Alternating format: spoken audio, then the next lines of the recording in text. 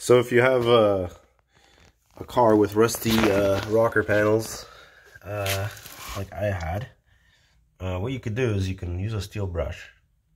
Okay, clean clean up what you can with the steel brush. Uh, you know, some, sometimes you'll probably have, it won't be surface rust, it'll be holes right through. So for that, I would recommend using some something like this. It's called spot putty, and hopefully your holes aren't huge because this is just for small fills. That's what I used on this car anyways. Um, if you have larger holes, you can get a short strand fiberglass filler, body filler, to fill them. Uh, in this case, I didn't need to do that, but uh, I did use a steel brush, clean this up. This is actually me hitting that bottomed out the car. Um, in this case, I just cleaned it up and put POR-15 on this. Um, same with the edge of the door here because it was beginning to rust. And uh, on the inside too. So this is a 2001 Ford Focus.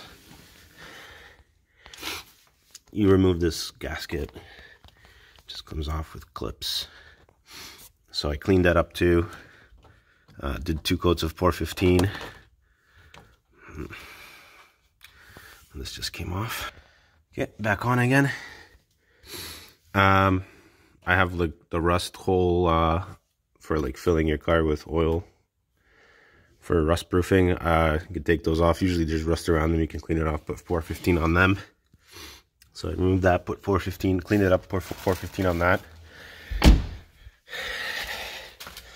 And uh, you can put POR-15 on other trouble spots like here I have. The paint, paint came off. I don't really care what this car looks like. It's 20 years old. But it's a winter beater, so uh, keep it keep it uh, clean of rust. So here the, the, the paint also chipped off. Also filled it with POR-15. The rims I use plasti dip on. Uh, this is the second year now. Seems to hold up well, but it it doesn't uh, salt sticks to it really quickly. It gets dirty really, really fast. So it's like don't even bother uh, cleaning it. Uh, uh, what I do clean it with is the uh, Back to Black from Mothers. Seems to do a really good job on Plasti Dip and it doesn't eat it away. So um, that's pretty good stuff. But yeah, if you are getting rid of your car because of rocker panel rust and you just want to keep it around for a little longer, uh, you could do this every year or two. Um, I think POR-15 is actually a really good product. It might last longer than two years. If you do uh, proper cleaning, proper application, and two coats of it.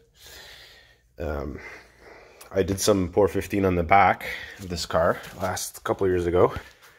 Actually, right here, just over the rust. And uh, I didn't remove anything, and it keeps the rust from spreading at least. Seems to do a pretty good job. So POR-15 for the win. Keep your car a little longer.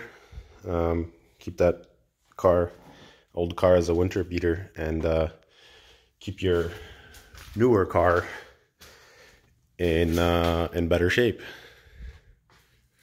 Keep it for the summer.